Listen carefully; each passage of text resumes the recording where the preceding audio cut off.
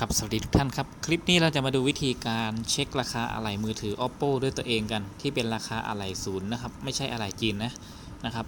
ถ้าอะไหล่จีนเนี่ยเราสามารถหาได้ตาม s h อ p e e Lazada เลยนะครับ แต่อะไหล่ศูนย์เนี่ยท่านต้องสั่งผ่านศูนย์หรือนำเครื่องไปเปลี่ยนที่ศูนย์เท่านั้น ก่อนที่เราจะไปไปทำการซ่อมเนี่ยนะครับเราอยากเช็คว่าเอ๊มือถือเรารุ่นเนี้ยนะครับ เอารุ่นที่คนใช้เยอะที่สุดก็แล้วกันนะครับ ที่เป็นของ oppo นะที่กำลังฮิตๆนะวัยรุ่นใช้ ก็จะเป็น A3s นะที่ผมเคยเห็นเอามาซ่อมกันนะครับ เรามาดูกันว่าตัว A3s เนี่ยราคาจอถ้าเป็นราคาจอศูนย์มันอยู่ที่เท่าไหร่ วิธีการเช็คนะครับ ให้เราเข้าที่ Google Chrome นะครับ Google Chrome แล้วพิมพ์คาว่าอะไร oppo นะครับ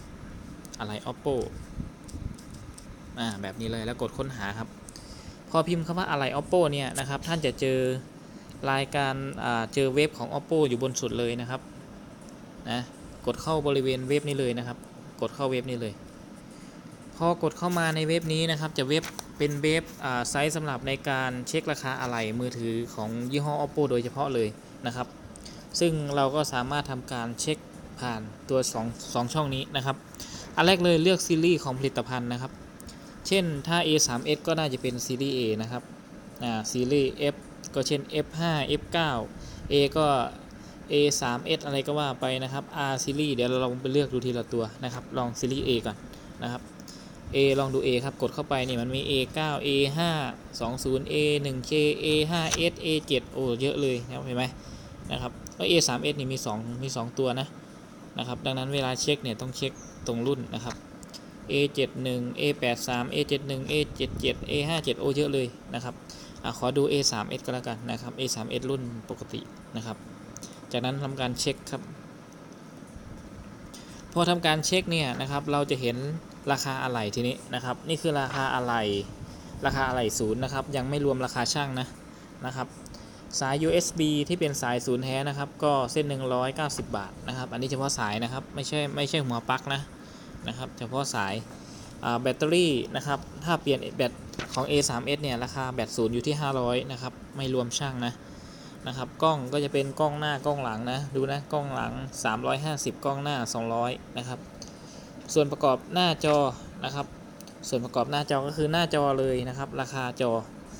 ราคาจออยู่ที่ 1,000 บาทนะครับ อันนี้ยังไม่รวมราคาช่างนะ ถ้าเอาไปเปลี่ยนตอนที่มือถือเรายังมีประกันอยู่เนี่ยเขาเคยคิดเฉพาะราคาอะไหล่นะครับที่ 1,000 แต่ถ้ามันหมดประกันแล้วก็จะบวกราคาช่างประมาณสัก 200 กว่าบาทนะก็ตกประมาณสักพันสองพันสามประมาณนี้นะครับ ส่วนฝาครอบแบตเตอรี่นะครับ ฝาหลังนะโอ้ทำไมฝาหลังแพงจังอยู่ที่ 750 นะครับ ฝาหลังนะถ้าฝาหลังจีนก็ประมาณสัก 200กว่าบาทนะนะครับ อันนี้ฝาหลังศูนย์นะครับฝาครอบแบต อะแดปเตอร์อะแดปเตอร์ก็คือหัวปลั๊กนะครับปลั๊กสำหรับชาร์จนะท่านดูนะครับ อันนี้ปลั๊ก150 ส่วนสายนี่190 สายแพงกว่าปลั๊กอีกนะนะครับ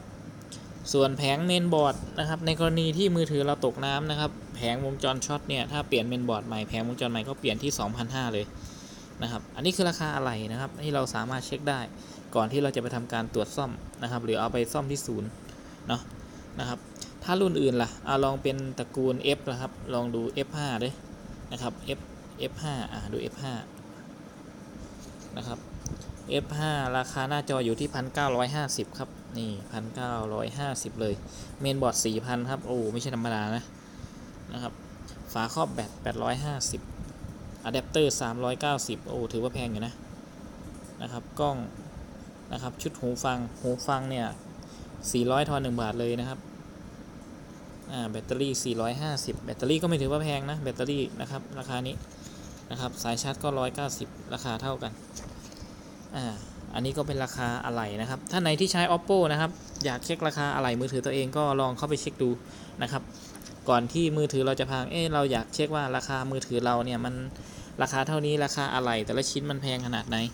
ถ้าไปเทียบกับราคาที่เราเปลี่ยนตามร้านเนี่ยมันแพงต่างกันเยอะไหมนะครับ เพราะว่าถ้าท่านไปเปลี่ยนตามร้านนี้ถ้าไม่รู้จักร้านจริงๆเนาะหรือร้านเขาไม่ได้โคกับศูนย์อะไรเนี่ยนะครับเขาก็จะเอาอะไรจีนมาเปลี่ยนให้แหละนะครับ แทบจะ 90%นะนะครับดังนั้นก็ฝากอลองไปเช็คดูนะครับ ถ้าใครใช้มือถือรุ่นไหนก็ลองเช็คดูนะครับ อันนี้เป็นของมือถือ oppo นะครับ ส่วนมือถือรุ่นอื่นนะครับ ฝากคอมเมนต์ไว้นะครับ เดี๋ยวทำคลิปให้ดูนะครับ โอเคครับ ขอบคุณทุกท่านครับที่กดไลค์ กดติดตาม เดี๋ยวพบกันใหม่ในคลิปต่อไปครับ ขอบคุณครับ